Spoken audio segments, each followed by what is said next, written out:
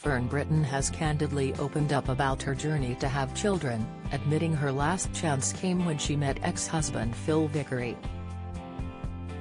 The former This Morning star shared her experiences of having IVF as well as falling pregnant at 43 in a chat with Kate Thornton. In the latest episode of White Wine Question Time, Fern chatted to her pal about having children she opened up about her IVF experience when she was married to her first husband Clive Jones. The couple wed in 1988 and were together until 1998. During this time, the presenter gave birth to twin boys, Jack and Harry, as well as daughter Grace. Her twins were conceived through IVF as she shared how expensive and tough the process was to Kate. She said, anyone who has been through IVF knows about those drugs and the enormity of building your hopes and dashing them, it's extreme. When her boys were three years old, Fern discovered she was pregnant again with a miracle baby, Grace.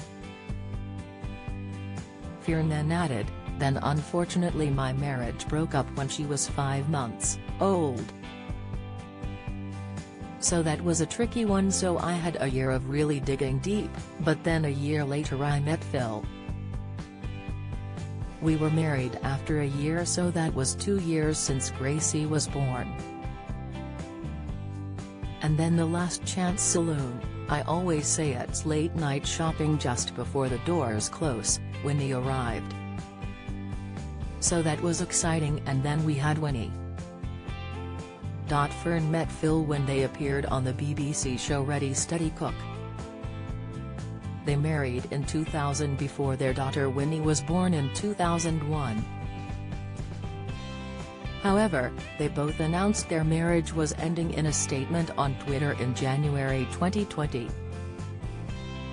Fern wrote on her Twitter page at the time, after more than 20 happy years together, Phil and I have decided to go our separate ways. We will always share a great friendship and our lovely children. We would appreciate it if our privacy is respected at this time. Thank you for your continued kindness and support. Sick, in an interview with Good Housekeeping last year, Fern opened up about having a very hard past few years. She said in July 2021, I'm not afraid of change. The last three years have been very hard. I lost my parents, I lost my marriage. I lost my other home in Buckinghamshire, too, because Phil lives there now and I'm in Cornwall.